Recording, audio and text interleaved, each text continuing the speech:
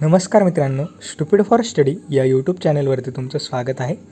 तर मित्रांनो M S T C E टीचा ॲप्लिकेशन फॉर्म भरताना काही विद्यार्थ्यांच्या त्या ठिकाणी चुका आढळलेल्या आहेत किंवा त्यांना लक्षात आलेलं आहे की या ठिकाणी आपली काही चूक झालेली आहे. तर प्रोविजनल मेरिट लिस्ट लागल्यानंतर या ठिकाणी तुमचं जे ग्रीवान्स आहेत तर तुम्हाला ते सबमिट करायचे आहेत. तर ते कधी सबमिट करायचे तर त्याविषयीच आपण पाहणार आहोत किंवा कसे सबमिट करायचे. त्याआधी जर तुम्ही या चॅनलवरती नवीन असाल किंवा अद्याप जर तुम्ही चॅनलला सबस्क्राईब केलं नसेल तर लगेच चॅनलला सबस्क्राईब करा. तसेच डिस्क्रिप्शन बॉक्समध्ये दिलेल्या लिंकवर जाऊन आपल्या टेलिग्राम चॅनलला नक्की फॉलो करा.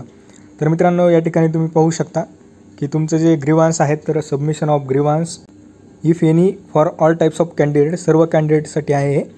तर candidate shall raise the grievance about correction required in the data displayed in provisional merit list through his her log in म्हणजे तुमची प्रोविजनल मेरिट लिस्ट जी लागणार आहे मी ती आधी सांगितलं ती कधी लागणार आहे?